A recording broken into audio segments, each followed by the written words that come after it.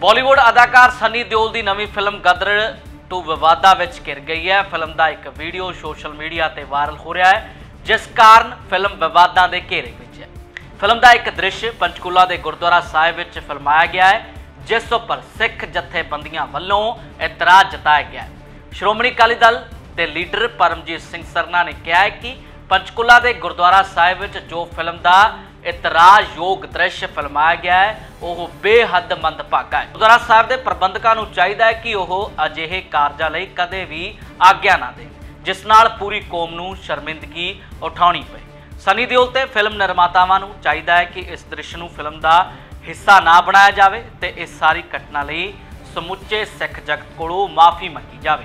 ਦੱਸ ਦਈਏ ਕਿ ਗੁਰਦਾਸਪੁਰ ਤੋਂ ਭਾਜਪਾ ਦੇ ਲੋਕ ਸਭਾ ਮੈਂਬਰ ਤੇ ਅਦਾਕਾਰ ਸਨੀ ਦਿਓਲ ਦੀ ਫਿਲਮ ਗਦਰ 2 ਦੇ ਇੱਕ ਸੀਨ ਦੀ ਗੁਰਦੁਆਰੇ ਦੀ ਹਦੂਦ ਅੰਦਰ ਕੀਤੀ ਸ਼ੂਟਿੰਗ ਤੇ ਸ਼੍ਰੋਮਣੀ ਕਮੇਟੀ ਨੇ ਵੀ ਇਤਰਾਜ਼ ਜਤਾਇਆ। ਇਸ ਸੰਬੰਧੀ ਆਨਲਾਈਨ ਸਾਹਮਣੇ ਆਈ ਵੀਡੀਓ ਕਲਿੱਪ 'ਚ ਸਨੀ ਦਿਓਲ ਅਦਾਕਾਰ ਅਮੀਸ਼ਾ ਪਟੇਲ ਨੂੰ ਬਾਹ ਤੋਂ ਫੜ ਕੇ ਇੱਕ ਦੂਜੇ ਨੂੰ ਵੇਖਦੇ ਹੋਏ ਨਜ਼ਰ ਆ ਰਹੇ ਨੇ ਤੇ ਗੱਤਕੇ ਦਾ ਪ੍ਰਦਰਸ਼ਨ ਕਰ ਰਹੇ। ਨੌਜਵਾਨ ਨਿਹੰਗ ਬਾਣੇ 'ਚ ਉਹਨਾਂ ਦੇ ਆਲੇ ਦੁਆਲੇ ਪ੍ਰਦਰਸ਼ਨ ਕਰਦੇ ਦਿਖਾਈ ਦੇ ਰਹੇ ਨੇ।